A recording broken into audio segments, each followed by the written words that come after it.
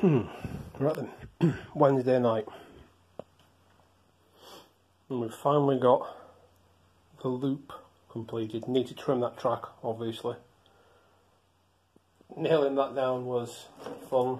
I had to squeeze into the gap, reach my hands up like a weird octopus, knock it all down. The good news is, as we come past here, there's just enough room now for me to fit my low release station back in there. So there we are. That's nice. The loop line's now connected with FlexiTrack into the depot. Very nice. Should just be enough room for the loading bay there. Fence behind it. Little reception area there with all this crap. Yeah. Going down to the uh, the very messy container yard.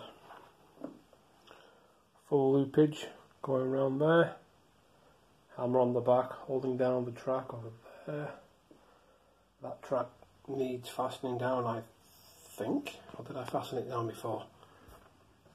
No, I've already done that. Brilliant. Friday night, we have trains running. Oh, this has been a long one, isn't this? This is my other loco with that stay alive. So this is the default track testing loco. It's just in a full circuit. No issues at all. We're just testing the sidings. A bit quicker than we probably should do.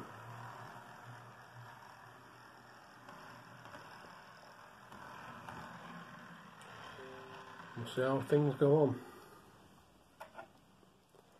Let's see what happens.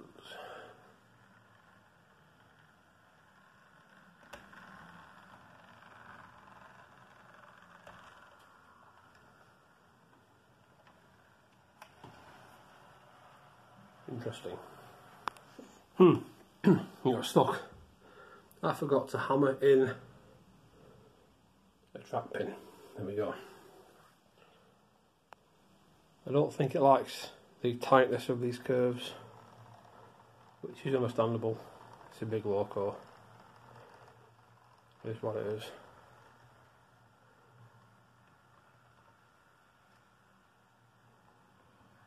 And then again, it might just have been the fact that it derailed before. Who knows?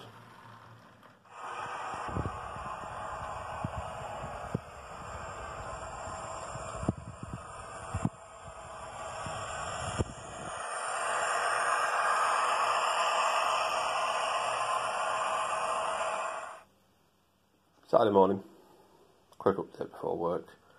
Had to replace the point that was there.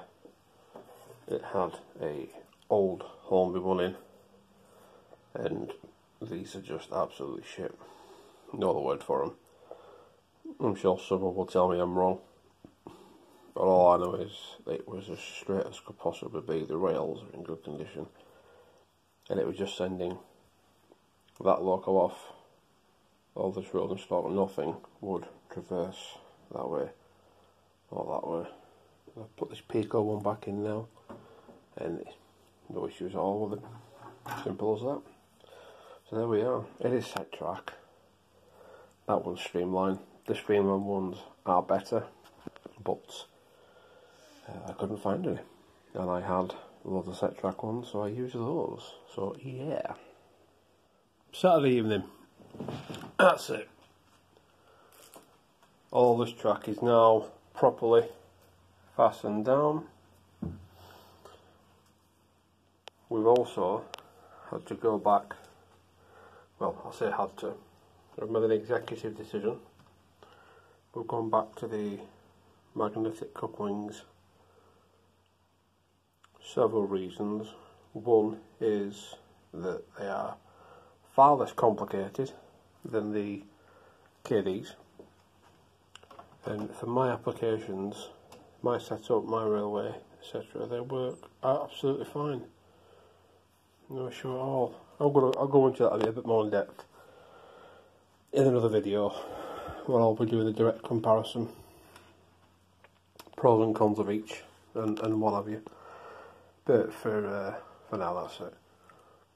TMD is getting there.